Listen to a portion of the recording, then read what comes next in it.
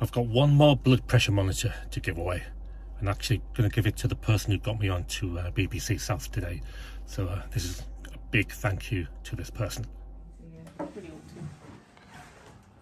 And here we have Jamie taking his turn at doing the blood pressure test. Now this is the test. Yeah.